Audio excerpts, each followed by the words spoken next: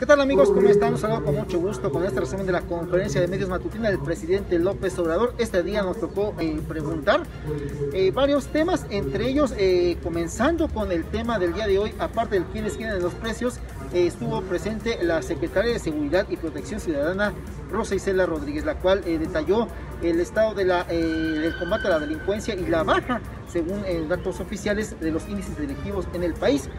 10 entidades concentran eh, la principal eh, incidencia delictiva, entre ellos comenzando con lo que es el caso de eh, Tijuana, Baja California, como la ciudad más violenta del país, y también el estado más violento del país es Guanajuato. En este contexto, lo que nos llamó poderosamente la atención fue la reducción de casi 15% en los feminicidios de un mes a otro. Al respecto, esto fue lo que dijo la titular de seguridad a nivel federal, Rosicela Rodríguez. Que los delitos del fuero federal siguen disminuyendo. Tan solo en febrero de 2021 se redujeron 19.9 respecto al mismo mes del año pasado. Cuando iniciamos este, este gobierno, en diciembre de 2018, se cometían 9.062 delitos federales. El mes de febrero de este año tuvimos 5.817, es decir, 35.8% menos.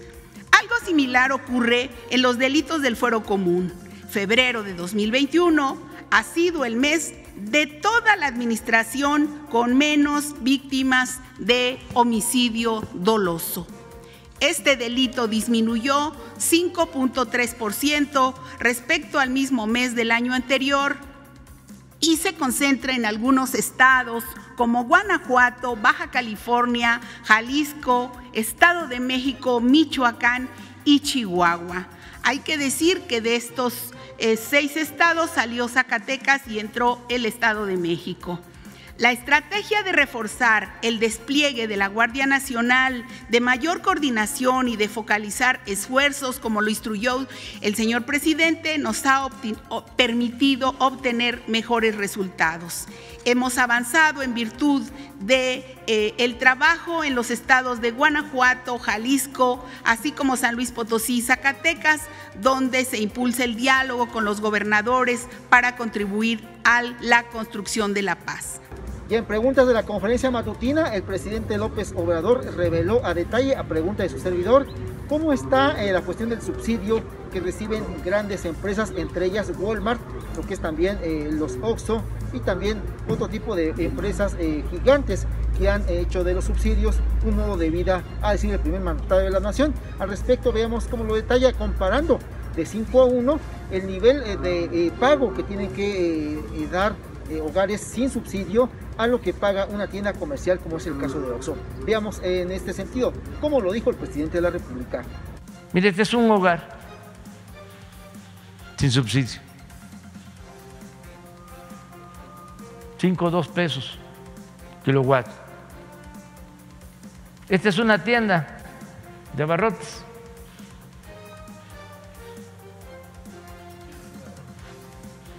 Del Sí. Sí, pero es una tienda de una colonia, de un barrio, de un pueblo, un tendero. Tienda de la esquina. Sí. Este es con subsidio de clase media, un hogar. Este es Oxxo. Este es Walmart. Y este es Bimbo. Nada más. Casi es el doble lo que paga una tienda de abarrotes con relación a lo que paga. Y si lo comparamos con un hogar sin subsidio, pues cuatro veces más, presidente. ¿Como cuatro veces más? En otro tema también le preguntamos al presidente López Obrador si hay algún operativo o alguna estrategia para eh, parar estos eh, altos eh, precios de las gasolinas que se están dando en estos últimos días, principalmente en las zonas metropolitanas de Tijuana, Guadalajara, Monterrey y el caso del Valle de México. El presidente López Obrador ordenó a la titular de Profeco el verificar qué está pasando en este caso, al tiempo que también mencionó, le consta a él por propia eh, eh, voz, eh, los incrementos desmedidos, según dice el presidente López Obrador, que está teniendo los combustibles en los últimos días. Bien amigos, hasta aquí el resumen de la conferencia matutina del presidente López Obrador. Le informa con mucho gusto Carlos Guzmán.